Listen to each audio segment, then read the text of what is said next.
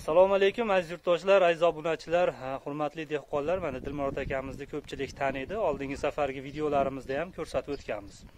Mana bahor oylari yaqinlashyapti. Uzumlarimizni kesish jarayonlarini mana hozir sizlarga dilmurod akamiz yordamida qanday kesilishi qanday mevali kaltaklarni olib qolish to'g'risidagi ma'lumotlar berishga harakat qilamiz. Videolarimiz albatta ma'qul kelgan bo'lsa o'sha layk tugmasini bosib kanalimizga obuna bo'lib qolishlaringizni so'rab qolaman.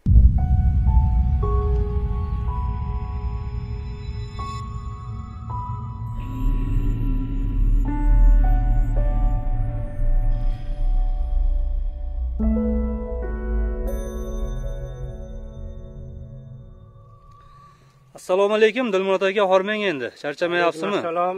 ishlaringizga rivoj aka. Mana bahor oylari kelib uzumlarimizni ham kesish payti kelib qolibdi albatta. kunlar yurishib qoldi. Mana endi hozir mana shu ko'rib turgan uzum tupimiz nihoyatda o'sha bir e, ancha yildan beri mevaga hosilga kirgan uzumlarimizdan biri. To'g'ri.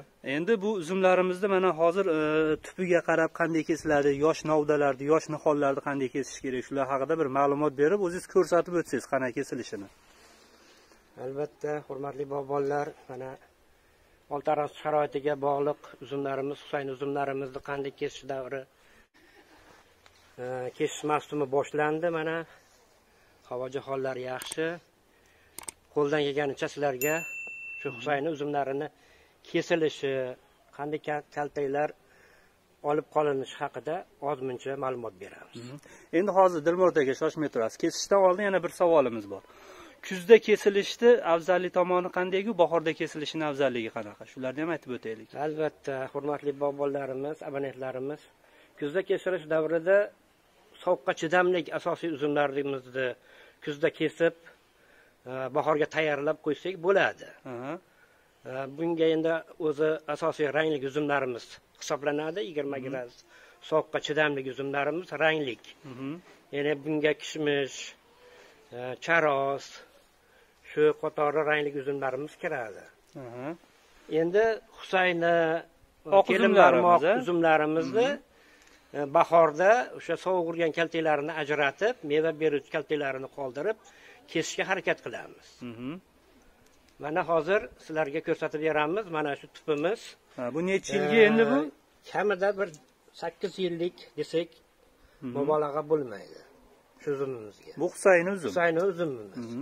Shundan e, ser hosil olish maqsadida qaysi kaltaklar qaysi novdalar e, olib tashlanadiyu qaysilar qoldiriladi shular haqida ma'lumot beramiz. Marhamat. Bo'lmasa mana shularni bir aytib kesib o'tamiz o'sha narsalarni.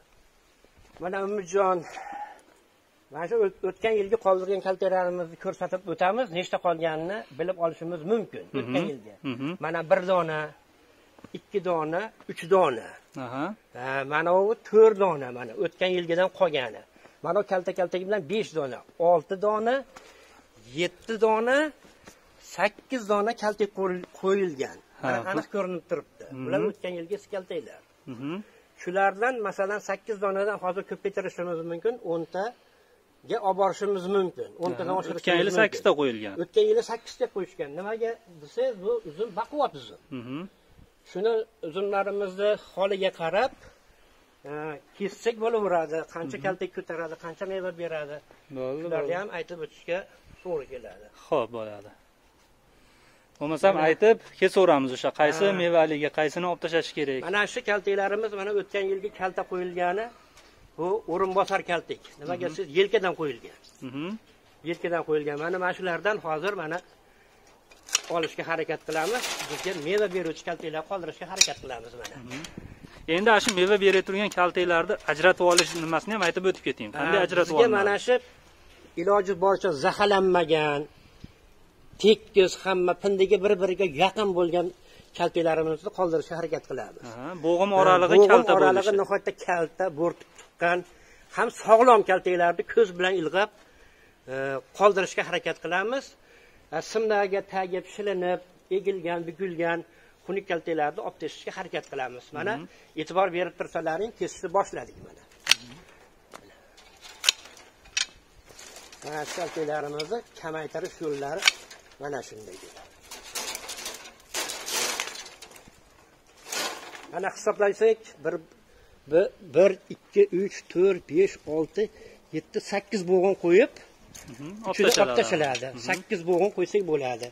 Yaqin pindilik kaltaklarimiz mana bundan ham bir ikki uch olti yetti sakkiz mana. Bu to'g'ri kesilgan. Hisoblanadi. To'g'ri.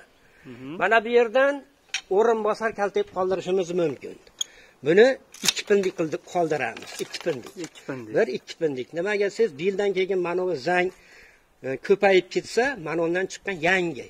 Yangi. Novdani yangilash maqsadida ikki pindik qoldiriladi endi mana bu bizga ingichka kaltaklarni hozirda keragi yo'q. Mana o'rtadan qo'ydik bitta. Bitta qo'yildi. Aha mana bu yerdan taydan chiqqan kaltak bular. yana ikki ha. Bu qo'sh pindik deyiladi bitta joydan ikkita chiqqan. Bit- bittasini olib tashlasak bo'ladi. Mana buni bunday qilib baylashimiz mumkin. Keyin mana bu yerda ham mana bulturga qo'yilgan kaltagimizni ko'ryapmiz. Bir ikki uch to'rt pindik qo'yilgan ekan. Mhm. o'tgan yilgi bu o'rinbosar kaltaklar hisoblangan bulturgi yil yelkadan chiqqan mana tagidan uchidan emas shulardan ham yana bitta qoldiramiz mana. Bizga o'rinbosar. Endi sanashni hojati yo'q ko'z bilan chamalab turib kesilaveradi mana. Endi mana bu kaltagimiz bu ham o'tgan yilgi qoldirilgan kaltaklardan. Shuni iloji boricha mana bu yerdan olib tashlaymiz mana. Hmm, uzunroq joyini olib tashaladi olib tashlaymiz. Sabab hozir sizlarga aytib o'taman mana bu yerda nihoyatda chiroyli meva beradigan kaltagimiz yaqqol ko'rinib turibdi. Buni ham hisoblab turib shu yarim metr sakkizta o'nta atrofida qoldirib mana kesib olib tashlaymiz. Mana. Keyin mana bu ham o'tgan yilgi qoldirilgan kaltaklardan mana mana shu yerda ikki pindek qoldirilgan. Buni ham mana qiyshayganini olib tashlaymiz mana joy kamligi sababli kalta qo'ysak ham bo'laveradi. Bu yerlarda. Mana bu kaltaga ham bizga bir ikki pindik qoldirib olib tashlaymiz o'rinbosar o'rinbosar keyingi yilga endi bu. Aha keyingi yilga. Endi u yerda mana bu kaltagimiz borligi uchun mana bu yaxshi kaltak bo'lsa ham olib tashlaymiz yonma yon bo'lganligi ha yonma yon bo'lganligi uchun. Mhm. mana keyin ingichka kaltaklar bizga keragi yo'q mana bu kaltaklar kerak emas mana mana bu sim bor. Baylashga qulay. Shuning uchun bu kaltakni ham qoldiramiz. Mana. Bizga mana bu yelkadan chiqqan tepadan shikastlangan kaltaklar bizga keragi yo'q. Olib ularni tashlaymiz. iloji boricha olib tashlaymiz endi. Endi bu o'tgan yilgi haligi qora zanglarimiz endi bular bet ha bular o'tgan yilgi qoldirilgan kalta kalta qoldirilgandan mana chiqqan meva kaltaklarimiz. Mhm. buni ham bu tomonda shoxlarimiz yetarlik. Mana bunday qilib mana kamaytirishga harakat qilamiz bularni ham mana.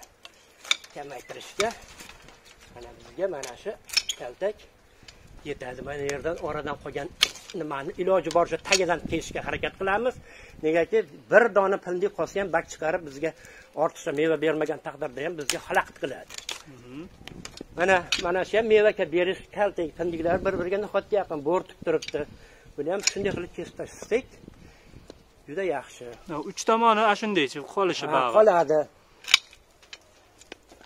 Baylashga ham oson.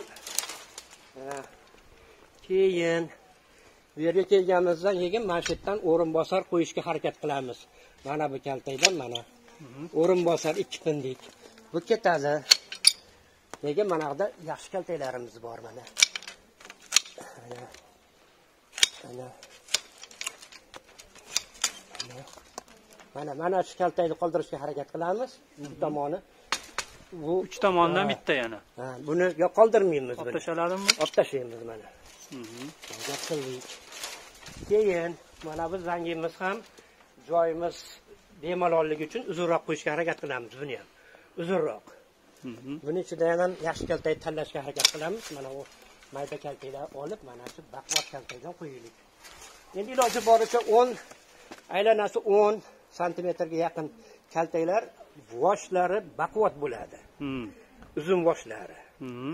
lekin mana bularda ham meva hosili bo'ladi unchalik katta bo'lmasa ham meva beradi meva kaltak. Lekin bizga ko'plik uchun buni olib tashlashga majburmiz. Mana bu kaltakni ham olib tashlaymiz bu yerda bizga endi mana kaltagimiz uzunroq qolgani uchun mana undan olamiz. Keyingi orada kaltagimiz qoladi mana. Ha kichkina kaltak qoladi. kichkina kaltak qoladi.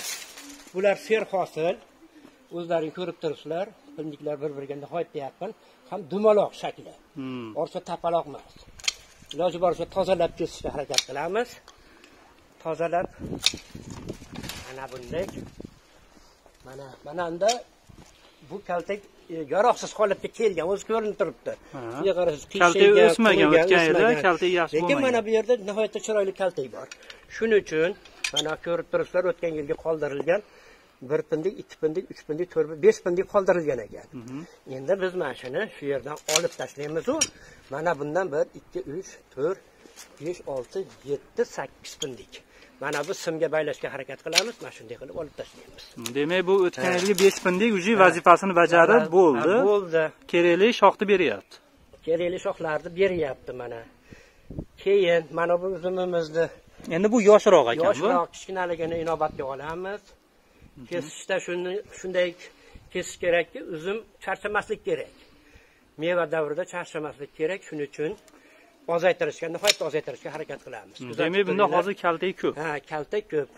Bundan mana bunday qilib shunday qilib mana shu bir kesishda uchta to'rtta kaltakni olib tashlashga majburmiz negaki mana kaltagimiz chiroyli. Ichidan bitta kesib qo'ysak mana bu kaltakdan mana bir dona qoldiramiz endi navbat mana bu kaltakka keldi. Katta zanga Ha, katta zang. Buni ham mana qoldirilgan joyimiz bilinyapti. Bir pindik ikki pindik uch pindik qoldirgan ekanmiz. Mana bu zang ilgari yilgi zang. Lekin o'tgan yilgi zangimiz mana mana shu bir qarish qoldirilgan. Shuni bu tomonda kaltaligimiz yetarligi sababli bu tomonga qaragan kaltakni qoldiramiz mana. Ochiqliq tomondagi olib qolinyapti. Iloji boricha orasidan olib ochishga harakat qilamiz. Mana mana kaltagimizni ham ortiqcha qismini kesib tashlaymiz. Endi mana bu yerda mana yelkadan chiqqan kaltaklar men aytmoqchimanki o'rinbosar kaltaklarni qoldirish maqsadida mana bundan bundan. Bular o'rinbosar. Mana bizanglar vazifasini bajarib bo'lgandan keyin bundan chiqqan pindiklardan qoldirib e, keyingi yillarga yangilaymiz. Keyingi yillar uchun. keyingi yillar uchun yangi endi mana baquvvat kaltagimizdan qoldirsak bo'ladi lekin mana bu yerda bundan ham sifatli kaltagimiz bor ekan mana. Mana iloji bo'lsa buni olib tashlashga harakat qilamiz. Iloji boricha tagidan olishga harakat qilamiz. Tagidan qirqish kerak. Ha nihoyatda halidaqa butoq qoldirmasdan kesishga harakat qilish kerak. Hozir mana shu e, ikki yillik e, yo uch yillik menimcha o'sha hosil berishiga kirgan uzumlarimiz albatta ha. Shularimiizga hozir mana nechta qo'yilyapti kaltagimiz hozir mana aytib o'taman. Mana bitta ikkita uchta to'rtta. Dona. hisoblamaymiz. Bu kichkinalar hisoblanmaydi hisoblamaymiz. bular o'rinbosar kaltak mana. Bularni ham iloji boricha yaqinroq qo'yib agar tagi mahkam tagidan mana ko'rib turibsizlar oldingi eski kesilgan joyidan chiqqan tagi eski nihoyatda baquvvat buni e, ikki uch to'rt kaltak ko'tarishi mumkin. Ko'taradi. Yana qo'shimcha qilsa bo'ladi. Yo'q shuni o'zi bundan ortiq bo'lsa doni mayda bo'lib qoladi. Mhm. doni nihoyatda maydalashib ketadi. Endi haligi uzum berish davrida e, birinchi pindik ikkinchi pindiklar oralig'ida har bitta shoxdan ikkitadan uchtadan hosil beradi. O'sha birinchi hosilni olib qolib ikkinchilarini olib tashlasak e, o'sha mm, hosildorligi yuqori uzumlarimizni olishimiz mumkinmi albatta xudo xohlasa mana shu uzumlarimizdan voshlaridan mayda voshlarini olib tashlab yirik yirik voshlaridan qoldirilsa xomtak davrida albatta sifatli uzumlar e, yetishtiriladi xaridorbob bo'ladi donlari yiriklashadi. E, uzum ko'p qilgani bilan uni pishirolmasa yetkazolmasa undan sifatsiz uzumlarni kimga keragi bor? Shuning uchun harakat qilamizki sifatli uzumlarni pishirishga yetkazishga. Endi mana hurmatli bobolarimiz mana shu uzumga ham e'tibor berasizlar. Shu uzumimizni ham kesib ko'rsatishga harakat qilamiz. Mana o'tgan yilgi kaltak bitta bunda ikkita qoldirilgan uchta to'rtta bu bilan beshta mana oltita qoldirilgan ekan. Oltita kaltak bo'lgan oltita kaltak bo'lgan. O'tgan yilgi kesish mavsumida olti dona bahorgi mavsumga qoldirilgan kaltak. Endi bundan kerakmaslarini olib tashlaymiz hozir. Mana. Endi shunday mana bu yerdan olamiz. O'zimizni charchamaslik maqsadida. Endi dilmurod aka mana shu kesish jarayonida ham yana bir ma'lumotlarni berib o'tsak E, bir xilgi joylarda mana shu e, qora zangimizni nihoyatda uzun uzun qilib qo'yishadida. Ho'p E, bizda mana ko'rib turganimizdek e, eski zanglarimiz kaltaroq o'tgan yilgi yangi kaltalarimizdan qo'yib berilyapti. Albatta. Sababi buni? Buni sababiki e, biz kalta qo'yganimizda mevasini e, kalta qo'yganimizdan keyin donasini ko'proq qo'y- qo'yyapmiz biz. Agar uchta to'rtta qo'yadigan bo'lsak shu kaltaklarni masalan siz aytmoqchi bir metr oshiqroq qo'yishimiz mumkin Mhm. me o'shanda ham meva beradi. Lekin biz kaltaroq qo'yyapmiz. Bizni oltiariq sharoitimizda shunga o'rganganmiz. Shuni taqozo qilyapti uzumlarimiz. Mhm. Shuning uchun kaltaroq kesishga harakat qilamiz. Yarim metrdan oshmasdan yetmish oltmish santimetr atrofida kesishga harakat qilyapmiz. Endi mana uzumlarimizni mana stoykalarimizni oralig'i o'sha uch metr uch yarim metr bo'lganligi uchun har bir stoykani tagidan bittadan ikkitadan uzum tuplarimiz bor. Shuni hisobiga ham demak kaltaroq joyda ekonom qilish maqsadida qilinyapti. Albatta. Agar e, joylarimiz keng bo'ladigan bo'lsa o'sha qora zangni qo'yishimiz mumkin uzoqroqqa. Qo'yishimiz mumkin. Uzumni quvvatiga qarab kasallanmaganiga qarab bir xilgi uzumlarimiz katta bo'lgani bilan sovuq urgan bo'lishi mumkin kasallangan bo'lishi mumkin. Shu uzumlarni tanasini po'stlarini shilib ko'rib yo bo'lmasa kesgan davrimizda mana ko'rinib turibdiki ichi ko'kmak. Bir xilgi uzumlarni kesganingizda shu ko'ki kamroq bo'ladi. Shular kasallangani aniq ko'rinib turadi. Shuning uchun bular e, siz aytmoqchi ko'proq qo'ysak ham uzunroq qo'ysak ham e, mevani beradi. Aytgan hosilimizni olishga harakat qilamiz. Shu orqali. Mana dilmurod aka mana obunachilarimizga ancha kerakli maslahatlarni berib o'tdingiz xudo xohlasa hali kesish jarayonlari hali juda ko'p bo'ladi. Yana kelgusida bir siz bilan hamkorlikda yana bir obunachilarimizga bir boshqa uzumlarimizni ham kesish jarayonlaridan taqdim etishga harakat qilamiz. Albatta. Sizga kattakon rahmat. Mana vaqtingizni ajratib bizga yo'q demaganingiz uchun salomat bo'linglar. Bog'bonlarimizga tilaklaringiz. Bobonlarimiz o'zlarini uzumlaridan unumli foydalansin unumli hosillarni olsin e, dasturxonlarimiz mo'l ko'l bo'lsin e, to'ylar qilsin avtomobillarda olishsin minishsin. Sog' bo'ling. Hammamiz yurtimiz tinch bo'lsin rahmat sizga ham. Salomat bo'ling. Mana hurmatli obunachilar ko'rib turganingizdek bu yerdagi bog'imizdagi uzumlarimiz hammasi chiroyli holatga keltirib kesilyapti. Videolarimiz albatta ma'qul kelgan bo'lsa layk tugmasini bosib kanalimizga obuna bo'lib qolishlaringizni so'rab qolaman